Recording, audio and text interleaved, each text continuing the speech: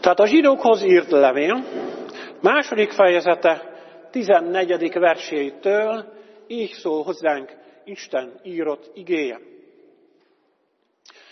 Ő is, azaz Jézus, az emberekhez hasonlóan részese lett testnek és vérnek, hogy halála által megsemmisítse azt, akinek hatalma van a halálon, vagyis az ördögöt, és megszabadítsa azokat, akik a haláltól való félelem miatt egész életükben rabok voltak. Nyilván nem angyalokat karol fel, hanem Ábrahám utódait karolja fel. Ezért mindenben hasonlóvá kellett lennie a testvéreihez, hogy irgalmas és hű főpap legyen az Isten előtti szolgálatban, hogy engesztelést szerezzen a nép bűneiért. Mivel maga is kísértést szenvedett, segíteni tud azokon, akik kísértésbe esnek. Ezért, szent testvéreim, mennyi elhívás részesei, figyeljetek hitvallásunk apostolára és főpapja, főpapjára, Jézusra, aki hű az ő megbízójához, ahogyan Mózes is hű volt az ő egész házában. Ő ugyanis Mózesnél nagyobb dicsőségre volt méltó, mint ahogyan a háznál nagyobb méltósága van a ház építőjének. Mert minden háznak van építője, aki pedig mindent felépített, Isten az. Mózes is hű volt ugyan az ő egész házában, mint szolga, bizonyságául annak, amit hirdetnie kellett, Krisztus azonban, mint fiú, hű a maga házához. Az ő háza mi vagyunk. Ha a bizalmat és a reménység dicsekedését mindvégig szilárdan megtartjuk. Ez az Isten igéje. Kedves testvéreim, nagy megtiszteltetés a számomra, hogy eh, az egyházi évnek ebben a kiemelt szakaszában itt állhatok eh, előttetek, és hirdethettem Isten igéjét.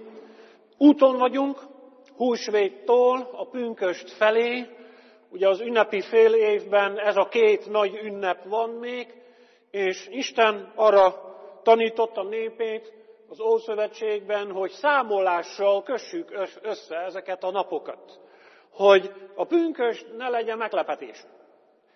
Mert sokszor az, hogy a húsvétra még nagyon készültünk, takarítással, talán ajándékokkal is, talán még kirándulni is voltunk, voltunk talán még tojásokat is kerestünk, aztán elindul a kerti munka, és valamikor, hirtelen valamikor csak lesz még egy ünnep. Ez a pünköst. De a pünkös neve azt jelenti, hogy 50, vagy 50. És onnan ered a neve, hogy illik számolni a napokat húsvét vasárnapjától egészen addig a napig, amikor reggel azt mondjuk, hogy jó, ez az 50. most van a pünköst. Segítek, ma van a 29. nap.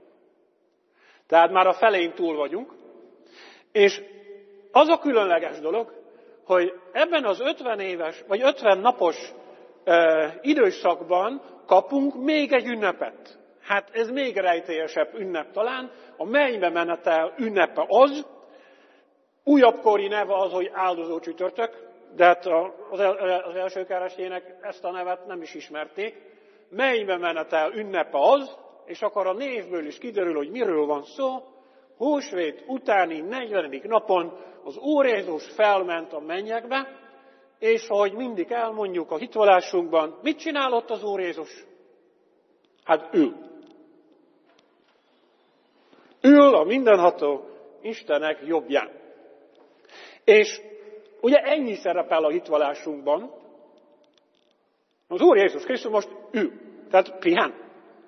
Annyi mindent csinált, hogy kellett neki 2000 év, hogy kipihenje a Golgotát? Lehet, hogy ezért valahogy elkerüli a figyelmünket, figyelmünket sokszor a mennybe menetel ünnepe, mert mit kell ott ünnepelni? Hát, hogy nincs itt az Úr Jézus? Hát minden nap ebben élünk, hogy nincs itt velünk az Úr Jézus.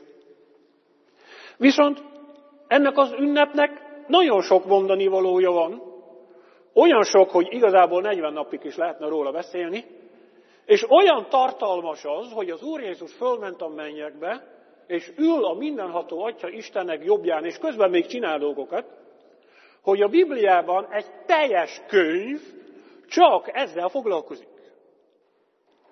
Ugye ez a zsidókhoz írt levél, amiből most fölolvastam egy részletet. Hát én azt mondanám, hogy ugyan még van 11 napunk, és ha minden nap olvasunk egy fejezetet, akkor majdnem el is tudjuk olvasni ezt a levelet. Én majdnem azt mondanám, hogy akkor minden nap olvassunk ebből a, egy levél, ebből a levélből egy fejezetet, csak az a, az a nehéz az egészben, hogy e, elég nehéz levél. Tehát olyan alapinformációkból indul ki, amelyeket Pálapostól el szokott mondani az első keresztényeknek az első évszázadban, de amiről mi sajnos sokszor csak keveset hallunk. És ezért nem nagyon értjük ezt a levelet sem. Ezért csak egy részletet hoztam ide a mai napon, ebből a hosszú-hosszú levélből.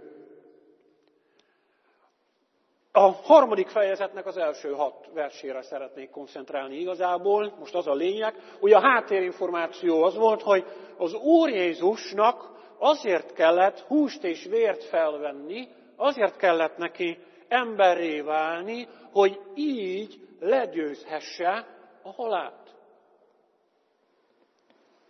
Azt az erőt, amelyel rettegésbe tart bennünket, Isten ellensége, az ember gyűlölő, a sátán. Rettenetes dolog az, amikor valaki meghal. Tudom én. Rettenes dolog arra gondolni, hogy volt, de most nincs. És ilyenkor bennünk tombol a gondolat, hogy egyrészt ez nem lehet igaz, aztán Isten miért engedi? Miért pont annak kellett meghalnia, akit én szeretek, aki, aki nélkül az életemet olyan nehezen tudom elképzelni. És teljesen normális dolog hogyha ilyen gondolatok vannak a szívünkben. Csak. Mellette, tehát ezek mellett, a gondolatok mellett legyen a másik gondolat is ott. Hogy ez egy átmeneti állapot. Mert visszajött onnan valaki. És nem csak úgy jött vissza, hogy nem is volt igaz, hogy meghaltam, hanem úgy jött vissza, hogy ő legyőzte ezt az erőt. Ő rajta ment, keresztül ment ezen az állapoton, és megmutatta, hogy lehet ebből kijönni. Sőt, fogunk ebből kijönni. Lesz feltámadás. Fogunk találkozni azokkal, akikkel most nem tudunk találkozni. Feltámadott az Úr Jézus, és ezért biztosak lehetünk benne, hogy fel fogunk támadni mi is. És ha már most ismerjük és szeretjük az Úr Jézust, akkor majd a feltámadásunk után is jó lesz vele találkozni. De ha, ha most sem ismerjük az Úr Jézust, és nem tudunk vele mit kezdeni, akkor még van időnk megismerni őt. Elég baj lenne, ha a feltámadásunk után úgy kerülnénk az Úr Jézus elé, hogy mi nem tudjuk, hogy ő kicsa, kicsoda, de ő se tudja, hogy mi kik vagyunk. Mert még soha nem beszéltünk vele.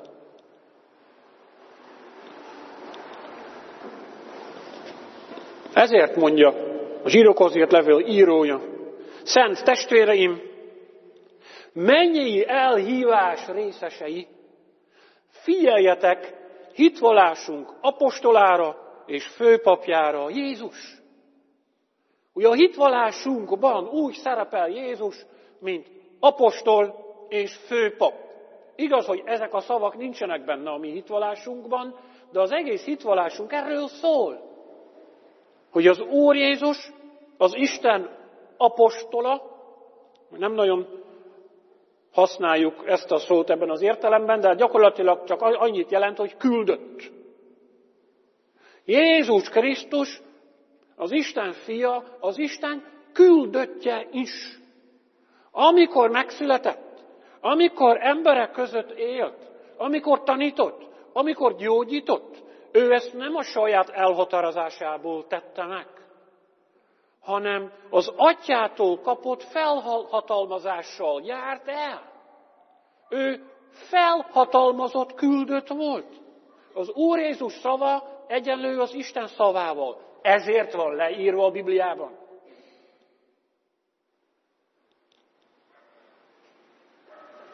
Amit az Úr Jézus tett, minden csodáját, azt úgy kell venni, hogy ez Isten cselekedete volt. Ezért van leírva a Bibliában. És amit az emberek Jézussal tettek,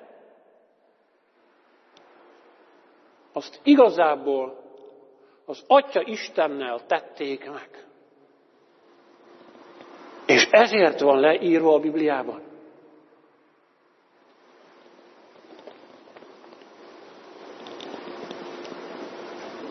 De Jézus nem csak az Istent képviselte az emberek előtt, mert ugye az elég egyoldalú megbizatás lett volna. A menetel éppen arról szól, hogy az, akit az Isten küldött közénk, hogy hallhatóvá tegye az Isten szavát, hogy láthatóvá tegye az Isten cselekedeteit, hogy a kereszten láthatóvá tegye még az Isten szeretetét is. Aki csúfolást is, az elutasítást is, a halálra ítélést is eltűrte szeretetében az emberek miatt. Ez az ember nem csak az Istent képviselte az emberek előtt, hanem amikor felment a mennyekbe, és amióta felment a mennyekbe, bennünket képvisel az Atya Isten előtt. Ugye ezt csinálja a főpap.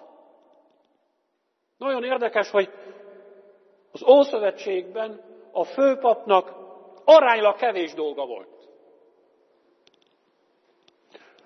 A papoknak so, so, sokkal több dolguk volt, mint a főpapnak.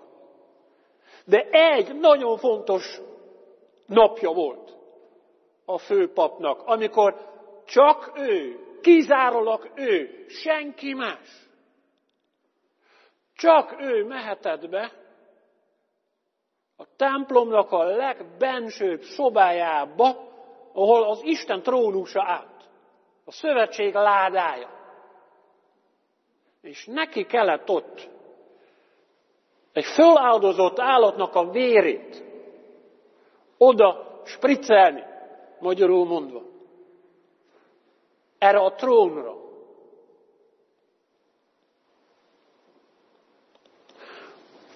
Hogy Isten ne haragudjon a népéért, ami miatt olyan sokszor engedetlen volt neki. Csak ennyi volt a főpap legfontosabb feladata. Odavinni a vért, elmondani, hogy föláldozták az Isten rendje szerint azt, amit kellett volna, és kéri, hogy Isten ne haragudjon a népére, hanem áldja meg őket. Annak ellenére, amilyenek ők. Na ezt csinálja most az Úr Jézus a mennyekbe. Ezt csinálja folyamatosan. Az az ember, aki Isten küldöttje volt az emberek között, ő ment föl a mennyekbe, oda vitte a mi húsunkat és vérünket, hogy megmutathassa, hogy bemutatott a végső áldozat. Az Isten önmagát áldozta fel az emberekért. És erre hivatkozva kérheti az Úr Jézus, hogy az Isten soha többé ne haragudjon ránk. Bár nem vagyunk, vagyunk méltók rá. Bár engedetlenek vagyunk. Bár nem mindig sikerül eltalálni azokat a jó cselekedeteket, amelyeket az Isten előkészített a számunkra, és csak oda kellene menni, és meg kellene csinálni, és még el is magyaráz az Isten, hogy hogy kell csinálni, és még testvéreket is ad hozzá, hogy legyen bátorságunk, meg tapasztalatunk, meg gyakorlatunk, meg... Mindennek ellenére, mivel ott van az Úristen színe előtt az Úr Jézus, mint főpap, Bízhatunk benne, hogy ha az Úr Jézuséi vagyunk, akkor Isten nem haragszik ránk. Hanem segít. Segít az életben. Ha kérjük, segít az érettségiben. Ha kérjük, segít a gyászban. Ha kérjük, Segít az örömben. Hogy örülni tudjunk a jó dolgoknak. És ne izguljunk, hogy tényleg jó lesz-e. Mert ne ilyenek is tudunk lenni.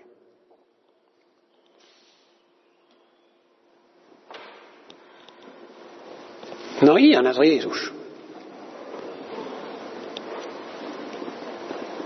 És érdekes módon itt az író még párhuzamot von Mózessel.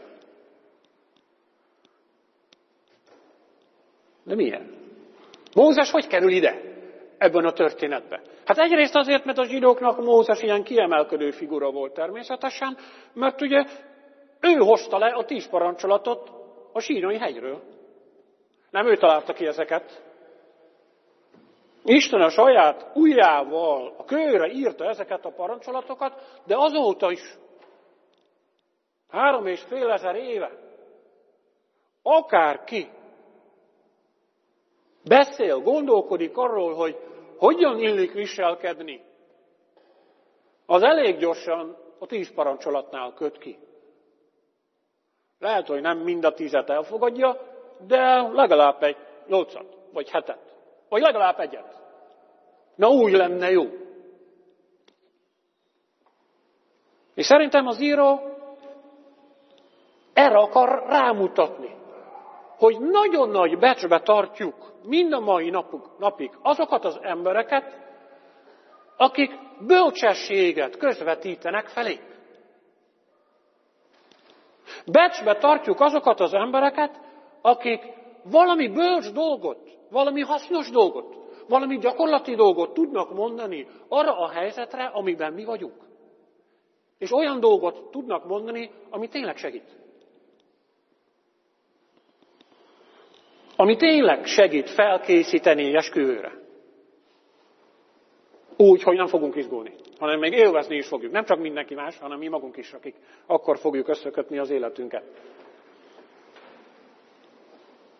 Becsületbe tartjuk azt az embert, aki érdemben tud valamit mondani a gyászról. Mert ő is átélte már. És fel tud készíteni arra, hogy mi lesz még. És arra, hogy senki más nem tudja betölteni azt az üres helyet. Csak valahogy egy idő után megszokjuk. Hozzá kérgesedünk, így mondta az egyik barátom. Hogy aki tippeket tud adni, hogy hogyan készüljünk egy történelmi érettségére. Most tényleg minden adatot fejből kell tanulni? Vagy elég, hogyha úgy nagyjából? Becs, becsbe tartjuk ezeket az embereket. Természetesen. És szerintem ezért hozza ide az író ezt a példát. Becsben tartjuk azokat az embereket, akik eligazítást adnak nekünk az életben, de nem ők hozták ezt létre. Ők csak, ha szabad így mondanom, okosabb kortársak. Ezért tudnak segíteni. Több bölcsességet, több belátást kaptak, de igazából végső soron az egyetlen nagy különbség közöttünk, hogy ők bölcsebb, vagy okosabb kortársaink. Vannak idegesítőbb kortársaink is, meg vannak. Sokféle kortársunk van. De a bölcsebb kortársokat becsbe tartjuk. És azt mondja az író, de az Úr Jézus nem olyan. Az Úr Jézus nem egy bölcsebb ember. Nem egy vallásosabb ember. Nem valami zseni. Ő teljesen más. Ő az építetője az egésznek. Tehát ha Mózes, vagy bármilyen más okos ember szolga lenne egy házban, egy társaságban, egy közösségben, egy családban, ha így képzeljük el, egy okosabb ember, aki nekünk segít, akkor az Úr Jézus, ő hozzá képest az egésznek az építetője.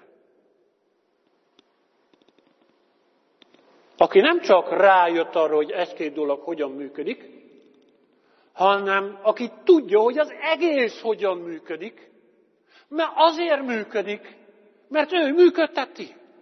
Ez az óriási nagy különbség.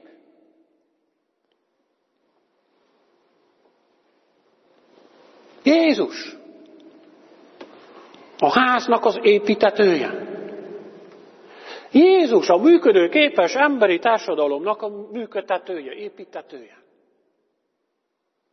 Csak sajnos sokan nem hallgatnak rá. De mindig vannak, akik hallgatnak rá. És ahol összetartoznak azok az emberek, akik Jézusra hallgatnak, ott tényleg egy másfajta keresztény közösség jön létre. Egy másfajta társadalom. Nehéz felépíteni, föntartani ezt a keresztény közösséget, a gyülekezetet, tudjuk. Mert amit az Úr Jézus tőlünk kér ebben a közösségben, a sokszor más, mint amit megszoktunk az egyházon kívüli társadalomban. De éppen azért kaptuk a testvérinket, hogy gyakoroljuk azt, amit az Úr Jézus mond. És ha gyakoroljuk, akkor fogunk rájönni arra, hogy tényleg ő az építető. Ő nem csak bölcs dolgokat mond, ő az alapokra mutat rá. És ha az övé lennék, akkor nem csak az, a saját életem, hanem a családomnak az élete is. Talán a rokonságomnak az élete is. Egyre jobban kezd hasonlítani arra, amire Isten eredetileg gondolt. Egy olyan társaságra, ahol tíz parancsolatra nincs is szükség. Nem kell törvénykönyv. Mert Isten dolgozott a szívemben, és annyira átváltoztatta, hogy most magamtól is az Isten dicsőségét és a fele barátomnak a jólétét keresem. És nem csak mindig magamra gondolok, hanem tudok a másiknak a fejével is gondolkodni. És lemondani arról, ami nekem jár. Azért, hogy a másik kapjon valamit, amiért nem is dolgozott, de ami kell neki.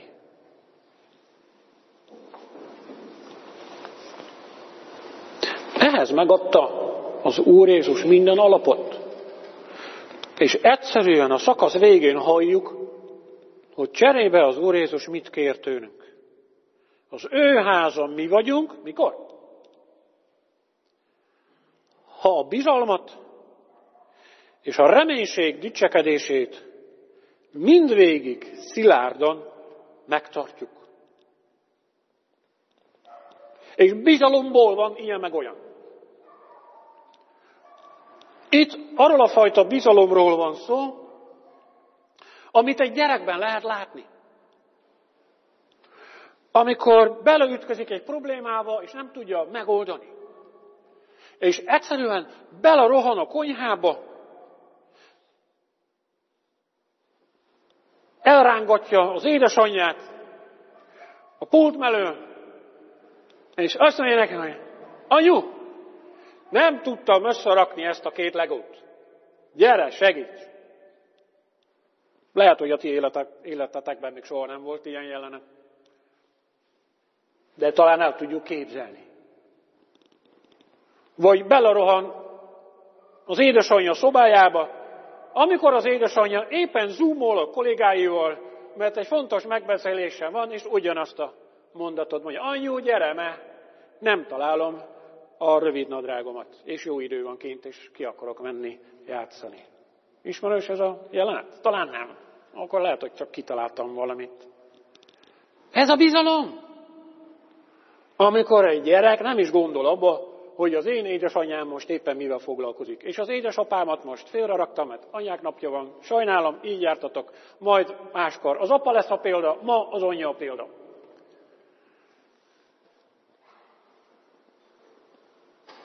El tudjuk képzelni ezt a jelenetet, amikor a gyerek arra nem is gondol arra, hogy talán az édesanyámnak most nagyon fontos dolga van. Talán az édesanyjámmal most valamivel foglalkozik, ami fontosabb nálam. Egy normális gyerek sem gondol erre. Aztán majd rátanítják. Erről beszél itt az apostol. Erre a fajta gyereki bizalomba, bizalomra gondol. Valamivel belütközök, jön egy helyzet, és ha jó, akkor el akarom mondani. És ha rossz, akkor segítséget akarok kérni. És elmondhatom, illetve elkérhetem, mert tudom, hogy akihez fordulok, a szeret engem. Nincs neki fontosabb ügye, mint az én ügyem. Nem azért, mert az én ügyem olyan fontos lenne a világtörténelemben, hanem azért, mert ő szeret engem. Ennyi.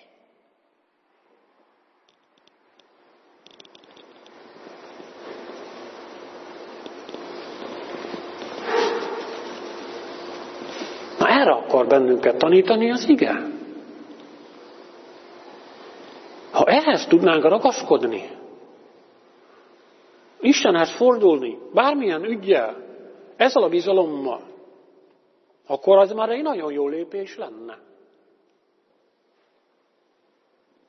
És egy másik lépés az lenne, hogyha nem csak a jelennel foglalkoznánk, hanem a jövővel is, de akkor úgy, hogy nem félünk.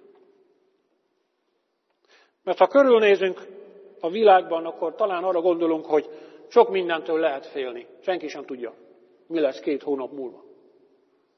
Olyan sok furcsaság történik körülöttünk, talán még a társadalmunkban is, hogy azt se tudjuk, hogy ezek a folyamatok hova vezetnek bennünket. És ettől lehet kétségbe esni. Ezért támadott föl az Úr Jézus, kedves testvéreim. Azért támadott föl az Úr Jézus, hogy megmutassa nekünk, hogy bármi történhet még odáig. Valamikor lesz feltámadás. És ha az Úr Jézusé vagyok, akkor ez egy jó feltámadás lesz. És a feltámadáson túl elkezdődik az az, az, az élet, ahol az Úr Jézus letöröl minden könnyet a szemünkből. És ahol már nem lesz se bűn, se vétek, se betegség, se semmi, ami visszatartana bennünket attól, hogy azt az életet éljük, amelyet Isten kitalált a számunkra. Az a másik.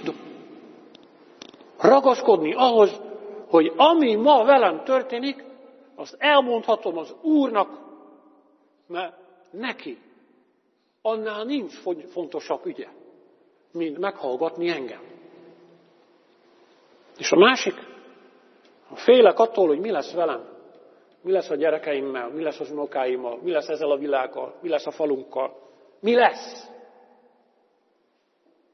Ragaszkodni ahhoz, hogy bármi lesz addig, de a vége jó. Ha az Úr Jézusé vagyok. És ezzel akár dicsekedni is tudok. Nem az emberek előtt, hanem a gondolataimmal szemben. A rossz hírekkel szemben tudok azzal dicsekedni. Amikor a rádió riogat, hogy jön a háború, akkor én dicsekedhetem a rádiónak, hogy tudod mit?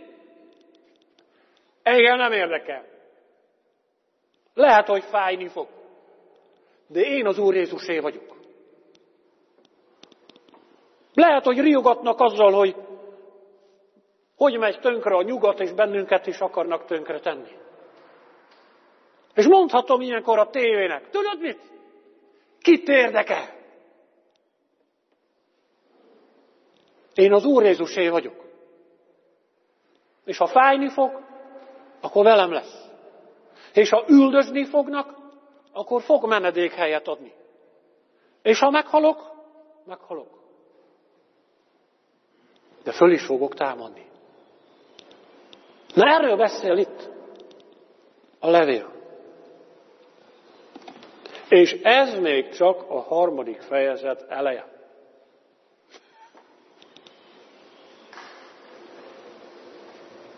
Ilyen tartalmas ünnep ez a mennybe menetel ünnepe. Ilyen sok mindenen lehetne elgondolkodni ebben az időszakban, húsvét után és pünkösd előtt. Mert ha ezeken elgondolkodunk, ha ezeken elmélkedünk, ha ezeket komolyan vesszük, akkor észre fogjuk venni, hogy épül a hitünk. Erősödik a hitünk. És ha gyakoroljuk, észre fogjuk venni, hogy erősödik a gyülekezetünk is. Sőt, épülni fog. Mert Jézus nem azért ment el, hogy kevesebbek legyünk. És gyengébbek, hanem azért, hogy a Szentlélek ereje által erősebbek legyünk, és majd többek is. Így legyen Bogyisron is. Amen.